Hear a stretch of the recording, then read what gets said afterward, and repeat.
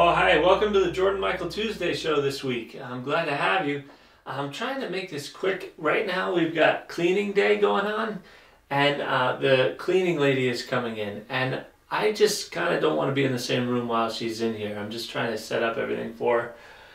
I don't know how to say this. It's just the way she says things is just kind of irritating. It kind of gets under your skin. So I just, I'd rather just kind of get this ready for her and make sure she's not the same. Are you still in here? Well, I'm right in the middle of doing the show. Well, hurry up.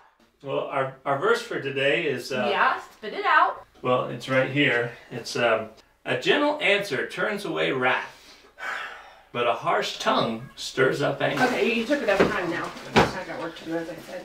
Well, I I gotta admit, there are some times where uh, my anger can get a little stirred up. You need to work on that problem. Uh, okay, uh, noticed. and if this isn't enough of an illustration, well, then our cameras caught up with Brenda and Tom, who were playing in the sandbox. Get off my side of the sandbox!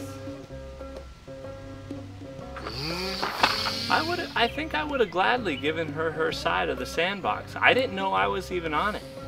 But the way she said it made me want to pour sand straight on top of her head. Sandbox with a cat. If I'm gonna get him to listen, I'm gonna have to get ugly. Get back on your side right now!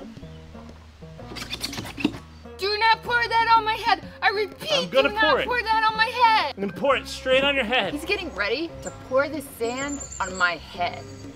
If I'm gonna get him to listen, I'm gonna have to get better, call mom, and get my own dirt. I'm gonna call mom. No, mom. I'm gonna call mom. I'm gonna dump this dirt on your head. No, I'm gonna dump this all over your head. I'm gonna put this dirt cloud in my mouth. No, I'm gonna eat the biggest clod of dirt you ever saw. I'm sitting there with a huge clod of dirt, and I'm thinking, I'm getting ready to have to eat this huge clod of dirt because I said I would. And then I remembered a gentle answer. Brenda, I'm sorry. I didn't realize I was on your side of the sandbox. But maybe, do you mind just asking me nicely to move next time? Yeah, sure. Thanks.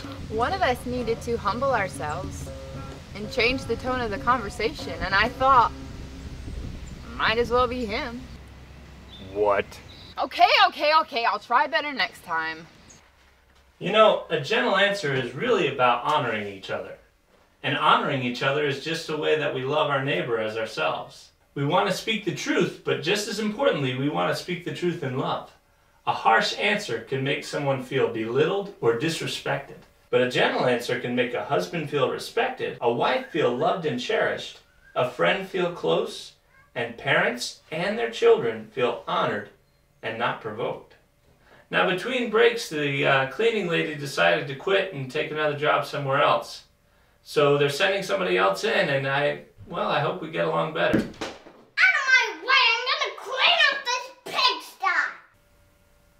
Oh boy. So you're watching the Jordan Michael Tuesday show. Be sure and subscribe. Or I'll hit you with my mop! Uh, no, that's not what we were gonna do. But while you're here, subscribe, leave a comment, tell me what you think, and uh, just if you're looking for a way to support us, just pass it on. Thanks a lot. God bless and see you next Tuesday. That's good. Yeah, that's good.